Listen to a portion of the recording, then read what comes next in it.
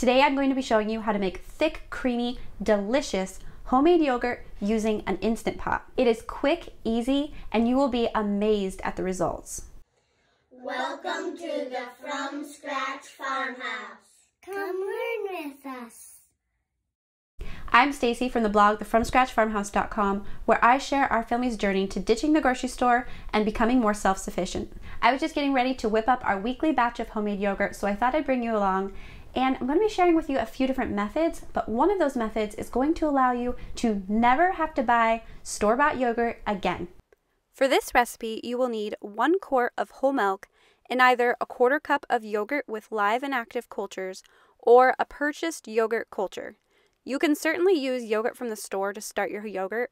However, I'm choosing to use this specific yogurt culture that I bought from Cultures for Health because it is a type that can be indefinitely reused. In other words, I can take a small amount from this batch I'm making now to make the next batch and continue that on forever. If you choose to use a different yogurt culture that is not meant to be used in that way, or yogurt from the store, your cultures will weaken over time, which also means it will continue to contain fewer of the good bugs that make yogurt so healthy, and you will have to start over with a fresh culture at some point. If you want this exact yogurt culture that I purchased, I will leave the link below. You will also need an Instant Pot with the yogurt option to use this exact method, but I will say that if you are watching this and don't have an Instant Pot, you can do this same process just by using a pot over the stove and then getting creative with some way to keep the yogurt warm. Many people have been successful using a heating pad, a crock pot, or other sources of warmth. Okay, let's get started. Step 1. Pour the quart of milk into the Instant Pot. Now, if you're wondering if you can do more than one quart at a time, the answer is yes if you are using yogurt either from the store or from a previous batch for the cultures.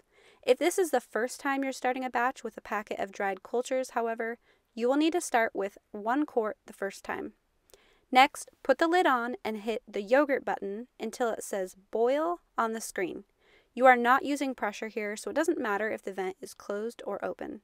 At this point, the Instant Pot will automatically bring the milk up to the correct temperature, and then when it is done, it will beep and say yogurt. Now, I do want to warn you that if you just let it do its thing and come back when it beeps, it will stick a bit to the bottom and a film will form on top. If you want to avoid this, you can just occasionally lift the lid and stir the milk while it's heating up.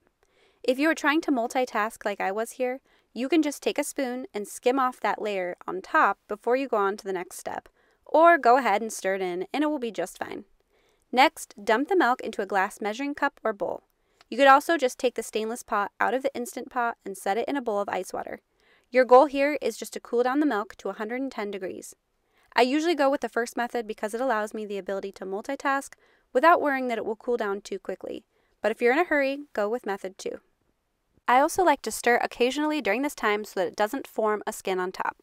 When the temperature of the milk reads 110 degrees, go ahead and mix in either one packet of your dried culture or a quarter cup of yogurt per quart of milk. Stir well, then return the mixture back to your Instant Pot. Give it one more stir and then put the lid on. Side note here, work quickly so that your milk doesn't continue to cool down by the time you return it to the pot. You want it to remain at the 110 degrees. If you are adding in cold yogurt, you may want to hit the boil button again, just like we did in the first step, to bring the mixture back to 110 degrees before moving on. Just don't let it get hotter than that or it could kill the cultures.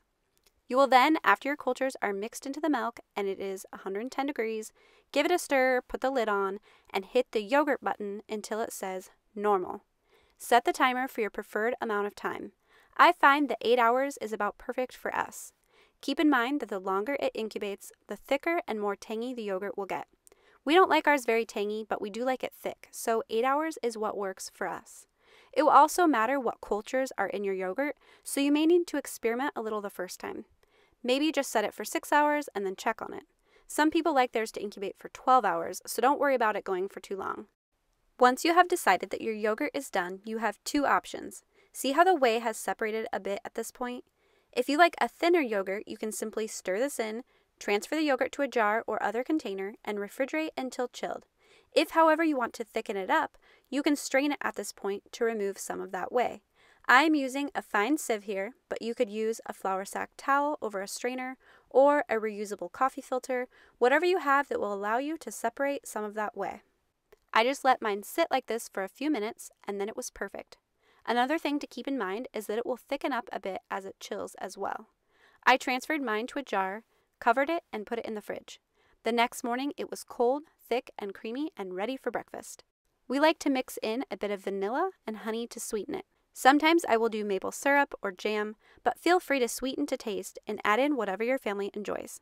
And that's it. Simple, thick, and creamy homemade yogurt with very little hands on time. And once you do this a few times, you won't even have to think about it.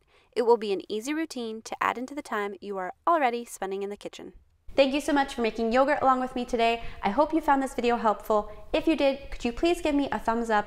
And also make sure to subscribe so you don't miss my upcoming content. I make videos each week on homesteading, homeschooling, food from scratch, and creating a handmade home.